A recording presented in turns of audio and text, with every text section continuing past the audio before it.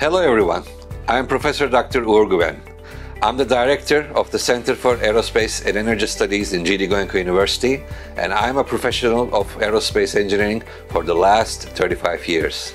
I'm very happy to announce that we are starting one-of-a-kind program in India together in partnership with Redbird Flight Aviation Academy.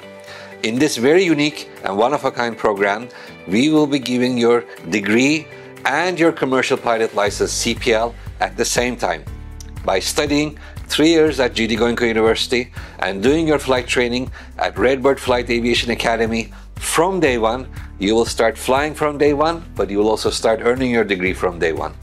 The uniqueness of this program, which is not replicated anywhere in India, is that at the same time, your education requirements will be met as well as your flight requirements will be met. And as you may very well know, from 2030 onwards, it will be impossible for flights to take place to Europe or USA until and unless the pilot is also a graduate of a university. So tomorrow, when you decide to work for another airline, to go to the United States, to go to Europe, it's very essential for you to have not only a pilot license, but also a university degree.